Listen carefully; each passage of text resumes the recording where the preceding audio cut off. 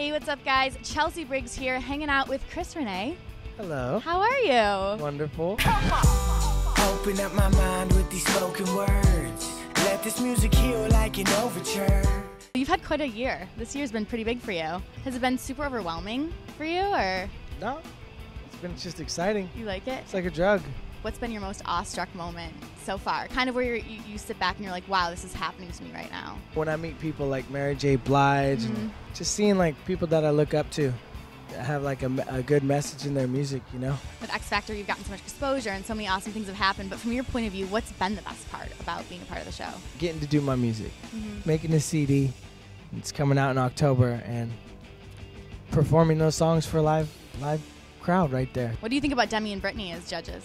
They're good. They're Yeah, cute. you're excited about it? Yeah, it's gonna be very nice. Young homie, so congratulations because it has almost 5 million views on YouTube. Oh, nice. How, right? You didn't yeah. know that. No, that's that's good. For me, it's like a. There's got to be substance to it. It's got to Totally. mean something. For that many people to have seen it, uh, it means something. And I think that people can hear that in your music, that it has so much meaning in the lyrics. Talk to me a little about that, like the writing process for you. It'll just flow through me. You know, Definitely. it's just the source. You know, my higher power. Yeah. Like the one I call God is the one that's really.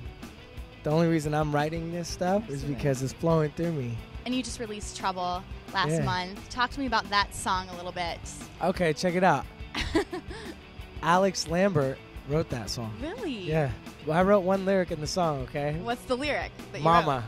That's it. wrote? Just So mama? Mama always said there'd be girls like this. Never did I know they'd be so fine. How can you tell when a girl is trouble? I just go like this. Hold on, let me see. That's it. That's You all. Just called me trouble. Done. Let's talk about your album, your debut album, out in October. Super exciting. What can fans expect? Greatness. It's beautiful. It's gonna be insane. A little bit of this and a little bit of that. It's just diverse that way. I mean, my CD is very diverse. I think a lot of people are gonna like it. Is there something that you're sort of using as a form of inspiration, or it's just kind of I would say something brilliant right here, but I'm just gonna tell you the truth. And it just, it is what it is, I like your honesty. and it is music that I'm I'm excited about and happy to be doing. Okay. What do you hope your fans take away from it? Healing, Okay. yeah, excitement, Okay. wonder, glory, glorious Maximus. What about like a specific song off the album or a lyric that you're really stoked about? Tidal wave. Tidal Wave. It's on an album. It's really cool. There's a chorus to Okay. it, you know, and it's beautiful. No, no, check it, let's check it out. Okay. And then there's verses that are just real nice. And it, eh, eh. Trouble. This one is Trouble. How is sort of that environment you grew up in? How's that influenced your music, would you say? growing up, it's been a journey, so I Absolutely. gotta share that.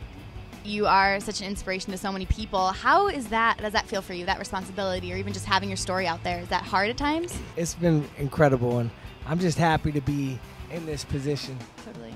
to to do this, talk to people, make music, and to have a positive message. What is your message to your fans or people out there that that look up to you, or you know maybe want to have a career uh, in the music industry? Love your life, I like that. and that's it. It's been a pleasure.